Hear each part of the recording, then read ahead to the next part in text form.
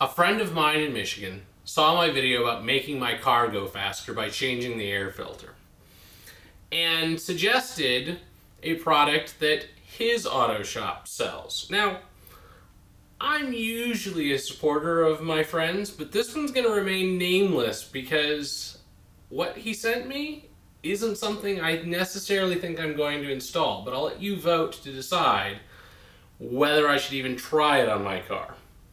So he sent me what's called an electric turbo or an electric supercharger.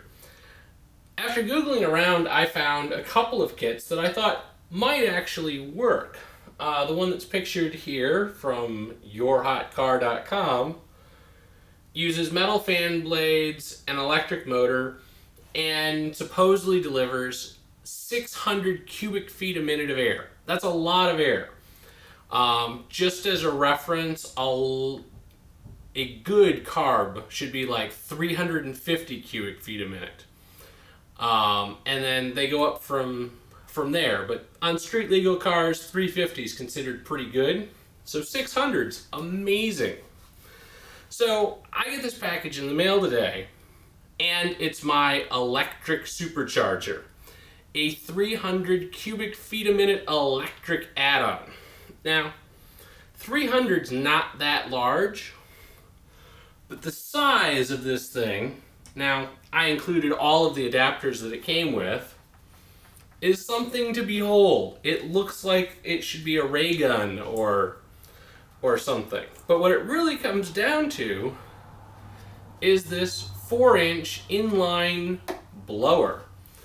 And doing some searching around based on the patent numbers on it, this is a bilge blower like you could pick up at Walmart for about $30. So I'm a little hesitant to mount it in my car, especially since being plastic, I can't imagine that it's the continuous duty cycle that you'd want for a for a car. Um, and then it has size down adapters, and like I said, I just put them all on for the fun of having this huge thing that you could definitely never mount in your car. But essentially, your air filter bolts on here, and your existing air system bolts on here, or whatever stage size you need in order to get to where you need to be.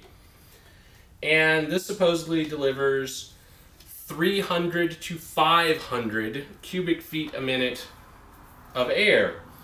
And the 300 rating is at less than 100% duty, or you're supposed to be able to run it all the time, and burst to 5 500. And it doesn't include any electronics, it included a wiring diagram to tell you how to hook it up. But essentially this takes 4, 4 amps at 12 volts. And at the full 4 amps you get the 500 and at like 9 volts you get 300. And I'm not sure whether I'm willing to bolt this on my car. Um, the the theory is reasonably sound. More air means more power. Um, but it's a plastic boat bilge motor. I just it, can't it can't be good for my car. I I, I just don't see it. But uh, I'll leave it to you guys. Vote if I get enough thumbs up and it's got to be better than 50-50. Um, if I get better than, we'll say, 70%, um, thumbs up for the idea of installing this, I will install this um, sometime maybe next week. And if you all think it's a dumb idea, I won't install it. So don't let me sway you when I say, please vote not to do it. I love my Mini. But I'll let you decide. Um, yeah.